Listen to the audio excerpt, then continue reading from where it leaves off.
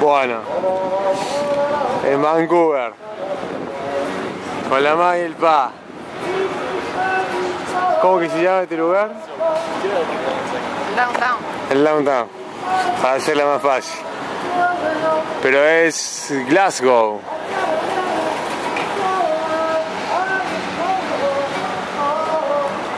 Especialmente para identidad. Para identidad en la web.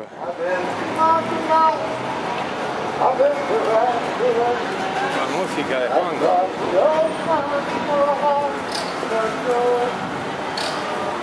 Esperamos